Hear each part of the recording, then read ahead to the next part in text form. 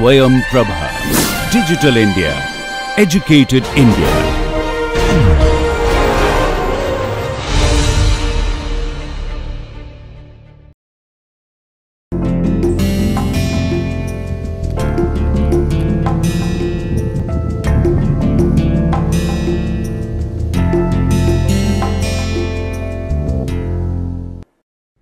So, it is almost time to say goodbye to all of you because uh, this is the so called last truly the sorry the last lecture of this course.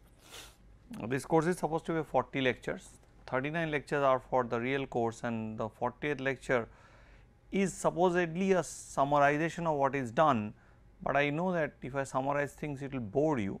So, in the last lecture I will give you what is called an entertainment lecture which would be of completely different flavor, uh, doing optimization at a bit level which is higher than what we have been doing. But let us mention you that at this moment what we are doing is really not a undergrad level thing, it is a grad level thing largely for more for those students who are involved in some research uh, using optimization techniques especially convex optimization techniques. So, we are going to start by talking about minimization of DC functions and minimization of this form right. So, first we had considered the case C is equal to R n then if f is a local or global mean of this problem which we called P 2, then we know that no, sorry if x bar is a local. Del g of x bar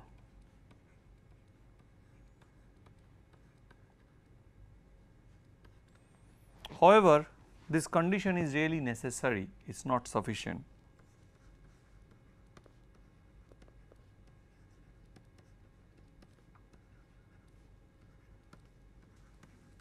This condition is really necessary and not sufficient, but for convex optimization problems, we have necessary and sufficient condition for global minimization. So, it is quite natural to ask that this even though these problems are non-convex, because if you have a twice continuously differentiable function, uh, you can write it as a DC function. So, even if this function is non-convex, can I uh, tell something more about it that is it possible to give at least mathematically theoretically a if and only if condition for existence of a global minimum. So, a necessary and sufficient condition for existence of a global minimum, but not sufficient.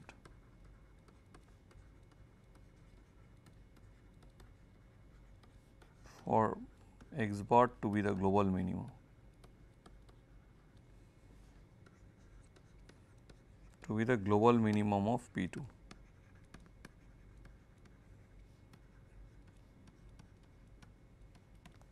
So, what you really need to do is uh, to ask a question i- is, it possible to give such a condition a necessary and sufficient condition for x bar to be a global minimum.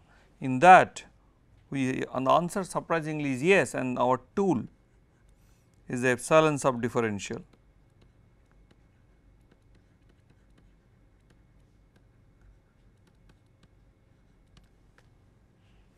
And I would again like to recall you that if f is a convex function from R n to R, then the epsilon sub differential at x given an epsilon greater than 0 is the set of all vectors xi in R n which satisfies the following inequality.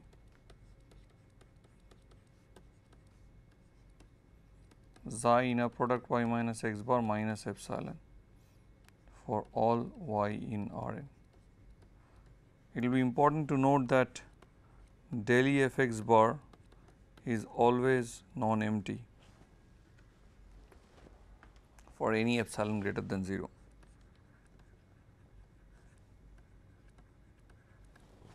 Though it has some drawbacks like uh, okay, even if the function is differentiable, we cannot say much about the derivative here, much about that that will be only a singleton set. No, it is not necessarily. So, however, it helps us in studying this kind of problems. Now, if C is equal to R n,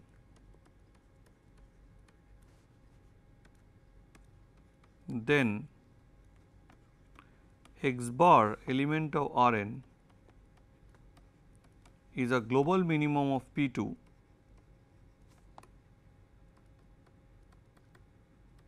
So, now we are doing only for the unconstrained case, we have not done anything for the constraint case. So, you will see most of our problem is for the unconstrained case. So, you might be quite surprised that we have not given any condition for the constraint case. Here giving condition for the constraint case is uh, supposedly slightly difficult and uh, but it is not so difficult as we think so. We will try to see what we can do. Uh, let us have a look at things. First let us do it for this Rn case and then try to apply it. So, then if x bar is, is a global minimum if and only if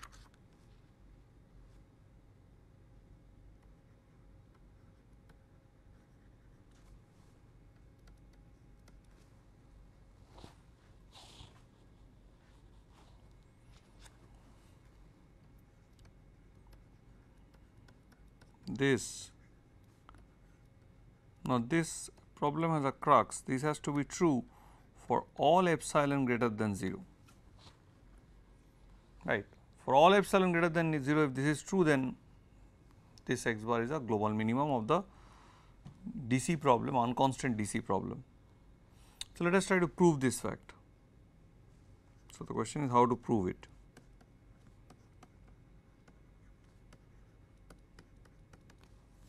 So, let us start with the fact that let x bar be a global minimizer of P 2.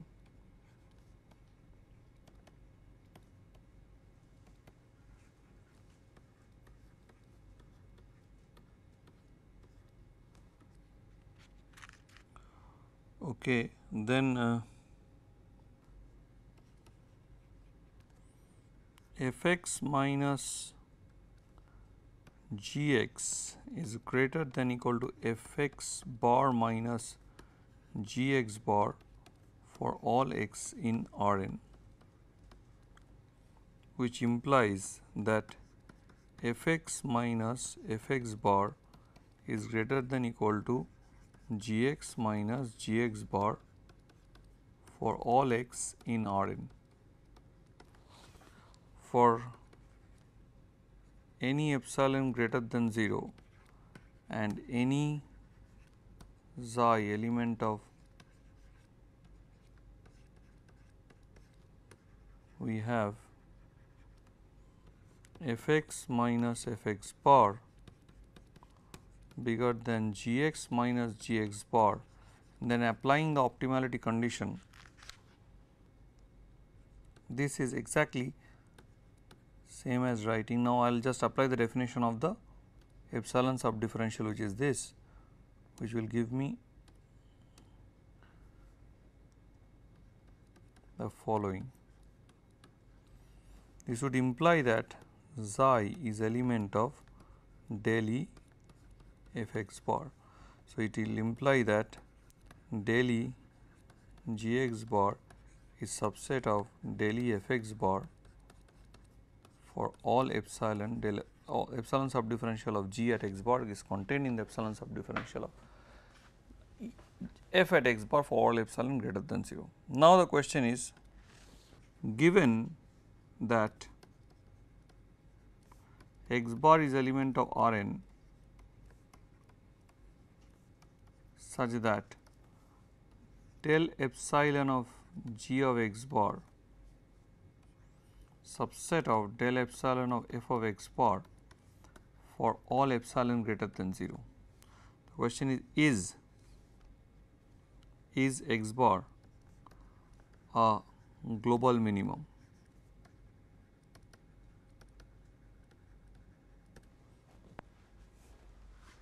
So, here the math becomes slightly interesting and let us see how do we do it. So, let us assume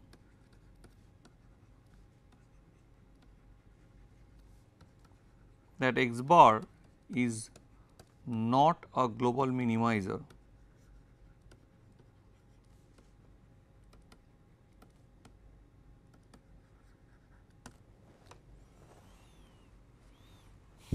So, they, there exists exact element of Rn such that f of x hat minus g of x hat is strictly less than f of x bar minus g of x bar. So, now we will have this. Now, what we have done is that we have assumed that x bar is not a global minima. So, we will get this. Now, how do I prove it? This is again a proof by contradiction which means that if x bar is not a global minimizer of the problem P 2, then I have to show some contradiction arising. So, let me write uh, this as f x bar minus f x star minus g x bar plus g x star strictly bigger than 0 and define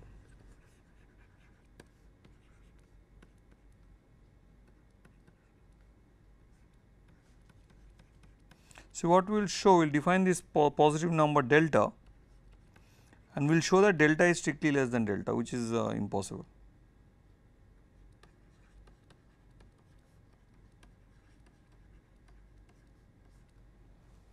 Okay, I set delta to be this.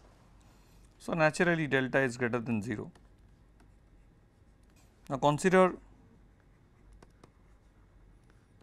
xi hat element of del g x hat note it is not the epsilon sub differential just the sub differential. So, this would imply that g x bar minus g x hat is greater than equal to xi hat into x bar minus x hat. So, that implies that g x bar minus g x hat minus of this part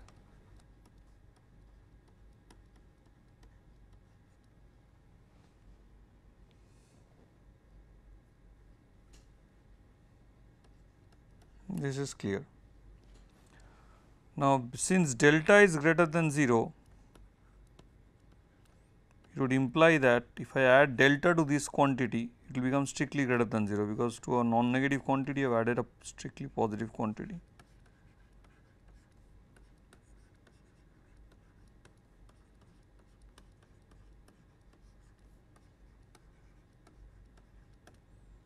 So, that would be strictly greater than 0. Now, this is again a positive quantity and we will define an epsilon. So, for that epsilon the given hypothesis will hold. So, I will define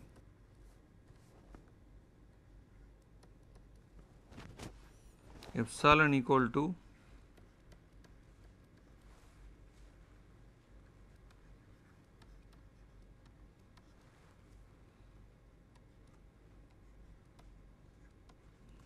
xi hat x bar minus x tilde x hat plus delta.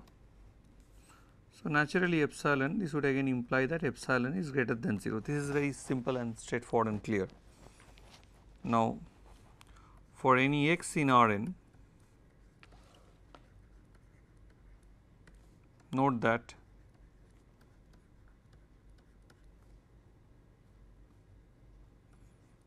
xi hat x minus x bar minus epsilon can be written as xi hat x minus x hat plus x hat minus x bar minus epsilon which when I write down the definition of epsilon would lead to the fact that xi hat x minus x hat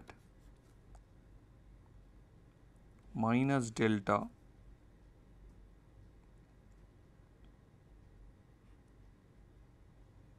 plus g x hat. So, here xi hat x hat minus x bar will cancel with uh, when I put minus will cancel with psi hat x bar minus x hat. So, what you will get is this one. Now,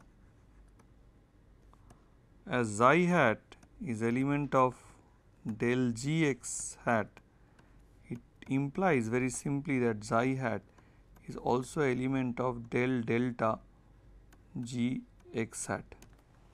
Okay. Now, once you know this, sorry, you will immediately write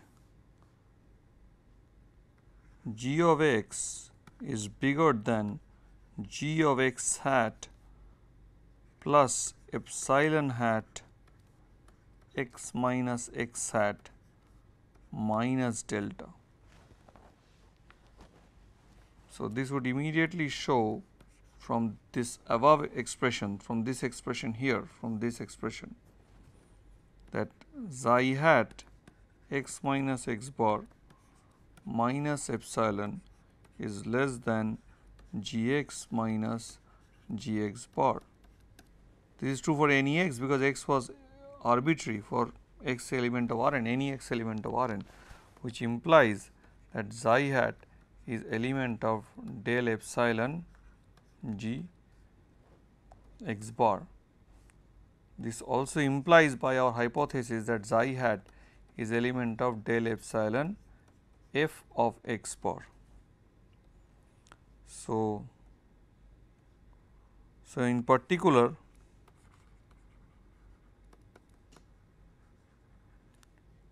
for x equal to x hat it implies that f of x hat minus f of x bar is bigger than xi hat times x hat minus x bar minus epsilon. Now, if you go back to the definition of delta then from there you can write 2 delta is equal to f of x bar minus f of x hat minus g of x bar minus g of x hat. Now, this from here you know this is nothing but epsilon minus xi hat into x hat minus x bar just what you have got before you are writing them down is minus of g x bar minus of g x hat in brackets. So, minus g x bar plus g x hat. Now, once you know that so epsilon minus g x bar the way epsilon is defined if you go back to the definition of epsilon then what do you get epsilon minus this is delta minus this. So, is delta plus epsilon hat into not now it will be slightly we will just show for help just putting the correct sign putting an better sign x hat minus x bar rather than x bar minus x hat. Okay. Hence, from this here 2 delta is less than equal to delta epsilon minus this is delta plus epsilon hat x hat minus x bar minus epsilon hat x hat minus x bar is equal to delta which is strictly less than 2 delta proving that 2 delta is strictly less than 2 delta which is a contradiction.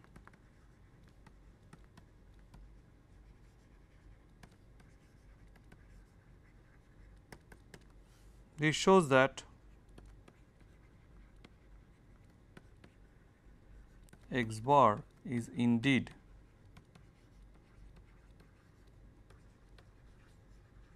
a global minimum of f minus g over c is equal to R n. It is important to realize at the very instant that in this last lecture uh, you may now ask me the question why I am always about putting C is equal to Rn for this case, why I am not putting C to be just a closed convex set subset of Rn a proper subset of Rn. The answer is that yes it can be done, it can be done and the problem is that even if it can be done one has to realize that we would get into certain technicalities especially with the sum of uh, you take the sum of two functions basically now if I want to do for the case when C is a closed convex set, I need to answer you this question. What is this? How to compute this? So, this would be getting into too much of technicality keeping in view the level of this course such a technicality is really not required at this stage. But I can show you something quite interesting that you can use this idea what we have just proved to devise a very simple looking necessary and sufficient optimality condition for maximization of a convex function over a convex set. In order to do so, we will introduce this idea of the epsilon normal set to C at x bar. It is a set of all V in Rn such that v times x minus x bar is less than epsilon for all x in C. So, if epsilon is equal to 0 then this is nothing but the standard normal cone that we know in Cx. But if epsilon is greater than 0, this is no longer no longer a cone it is just a set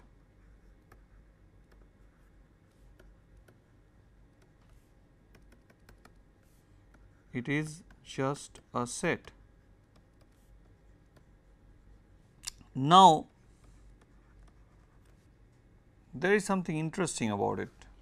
Is that suppose minus of xi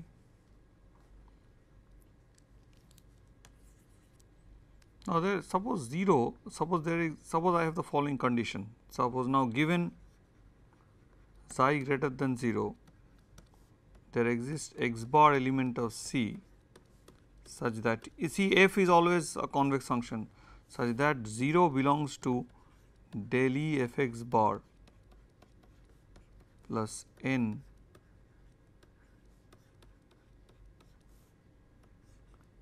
f is a convex function, C is a convex set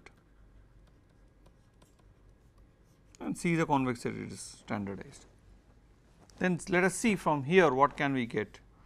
It would imply that 0 is equal to xi plus v where this belongs to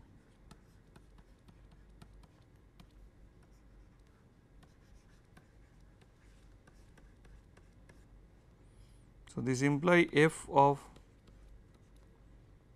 x bar f of x minus x bar is greater than equal to xi times x minus x bar minus epsilon. But xi is equal to minus of v. So, this would imply that f of x minus f of x bar is greater than equal to minus of V inner product x minus x bar minus epsilon. But this, this shows that this thing by the fact that V belongs to this, this is greater than equal to epsilon. So, this would immediately imply that f x minus f x bar is greater than equal to minus epsilon. right. So, minus epsilon minus epsilon. So, this would imply that f x minus f x bar is greater than equal to minus 2 epsilon implying that x bar is a is an 2 epsilon mean of f over c. So, if you have both the same epsilons here what you get is a 2 epsilon mean it is not the same epsilon mean right. So, you see things what you know about when you handle try to handle epsilon subdifferentials and ap approximate minima epsilon minima things are slightly different. Now, what happens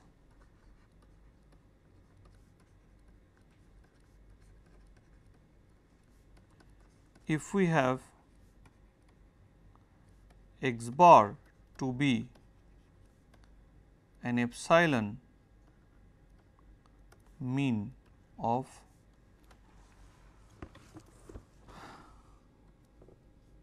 f over c. So, this would imply for all x element of c f of x minus f of x bar is greater than equal to xi times x minus x bar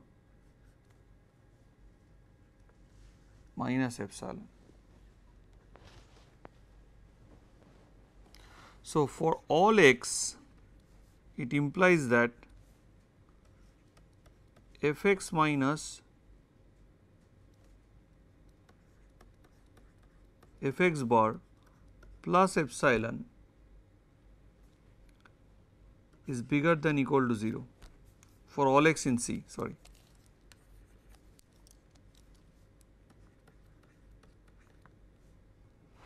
So, this is known to be greater than 0.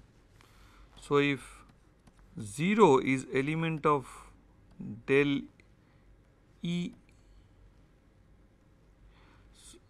So, now what I am having is the following I am having that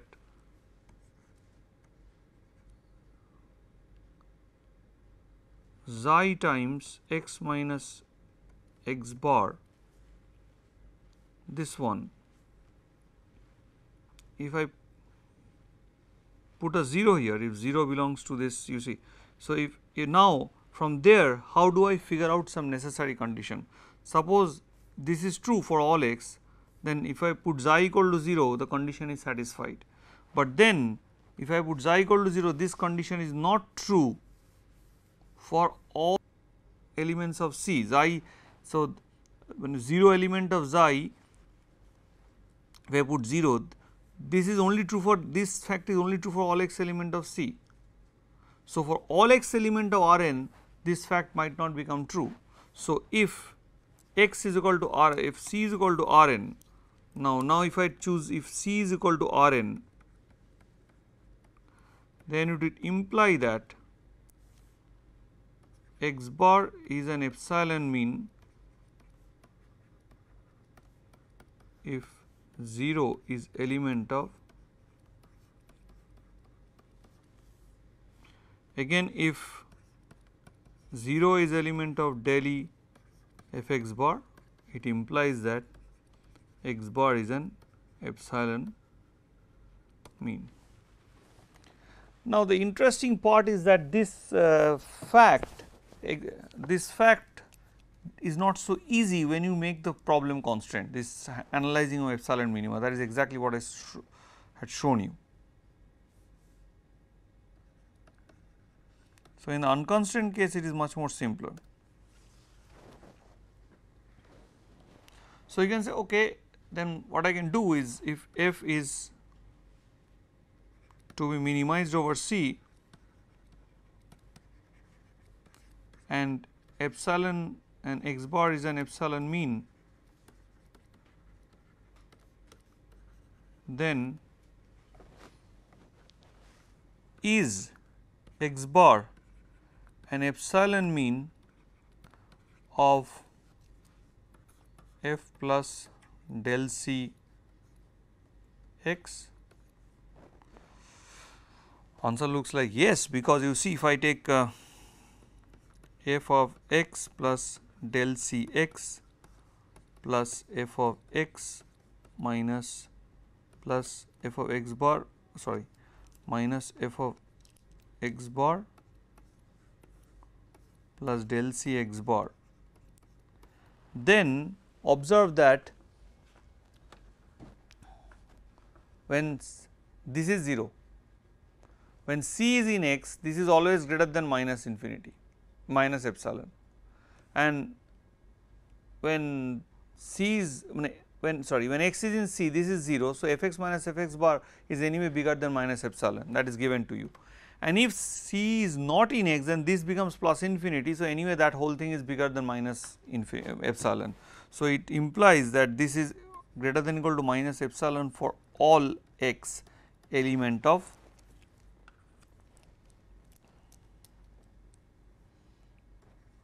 Rn. So,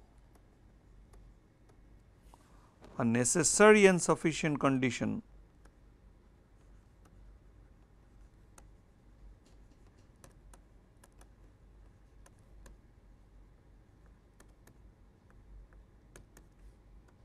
is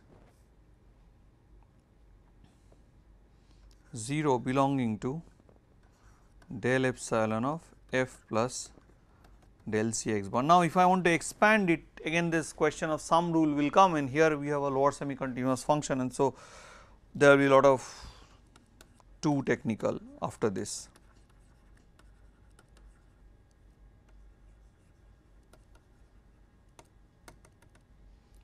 So, we will go back to our uh, problem of maximizing or the problem P 1 of maximizing f x over x element of C which you again this is a convex function and this is a convex set.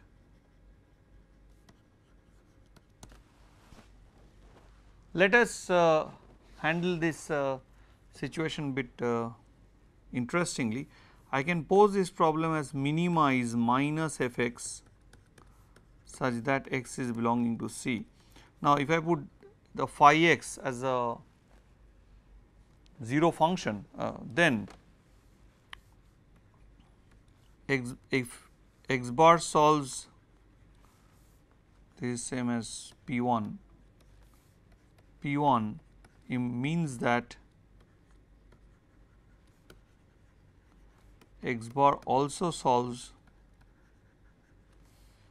mean of del c minus f x over x element of R n and for this the optimality condition is known to us. The optimality condition is del epsilon of f x. Now, you can say oh why why have why are you talking about uh, del c now. Hmm.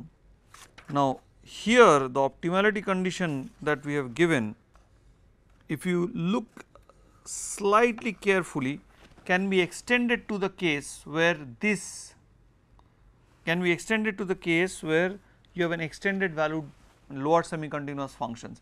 So, if even if f from R n to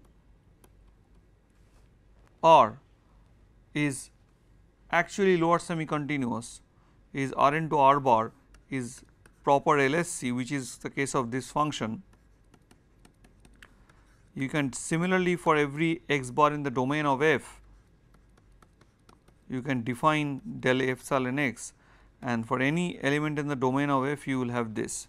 Actually what you need to know is that you can now basically if you have x bar in the domain of f does not matter. So, if, if this this will be not equal to phi. So, it does not matter even if you have a lower semi continuous function.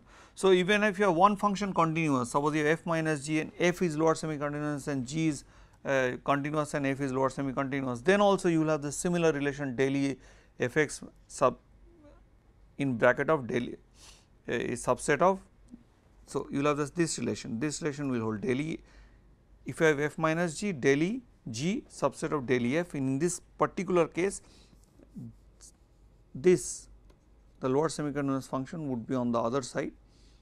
So, you have just applied what you have learned. So, what you have known. So, whatever we have this, this result what we have learned here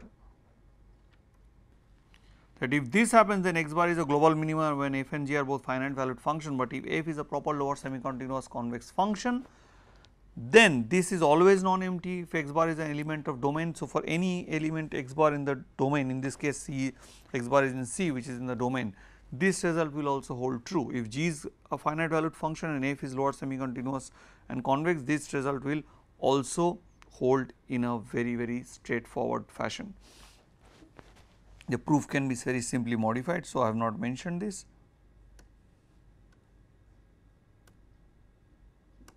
So, now I will have this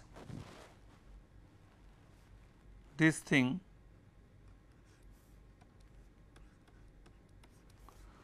So, for all epsilon greater than 0. So, this would imply and it will be your homework to figure out that this is nothing but this set. So, here is a neat looking necessary and sufficient optimality condition for maximization for finding a global maxima of a convex function, but you realize that this is not so easy to prove because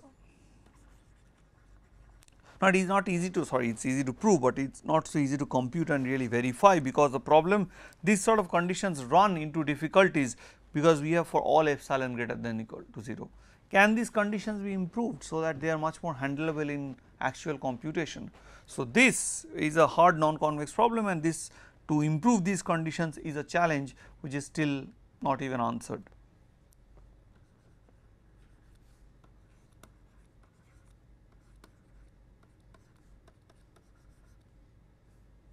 sorry we will see.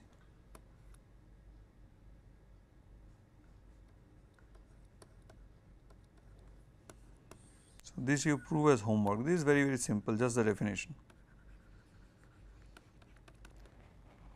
With this I would like to end today's talk and this course basically ends here. Thank you for listening to this uh, long 39 uh, session journey. The last talk the 40th one instead of summarizing I will give you a different flavor uh, what I would say I will give you an entertainment lecture and where I will show you some very fascinating aspect of quadratic optimization and I will show you how semi definite programming would play a role there. Thank you very much.